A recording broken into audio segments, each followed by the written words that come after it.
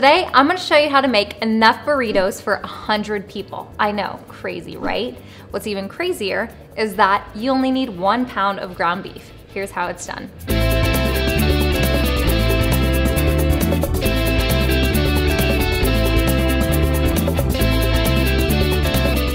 All the ingredients are in the description box below. Add your beef and onions to a large skillet and cook until the beef is brown. Then add the taco seasoning and stir for a couple of minutes. Next, turn off the heat and stir in the refried beans, the salsa, and now the cheese.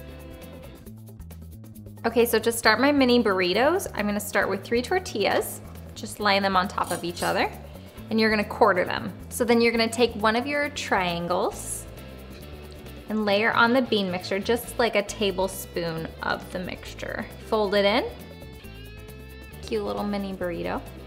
Set it on a plate and just build the rest of them. All right, so now I'm gonna put my little burritos in the pan. Just line them up. So the last step you want to just baste them with butter and this is gonna help the top brown slightly. Now I'm gonna place it in the oven that's preheated to 350 degrees for about 10 to 15 minutes. Now it's time to make my secret topping, guacamole. Okay, so I have my burritos, my little burritos. I'm going to add salsa and my homemade guacamole. A dollop of sour cream on each little burrito.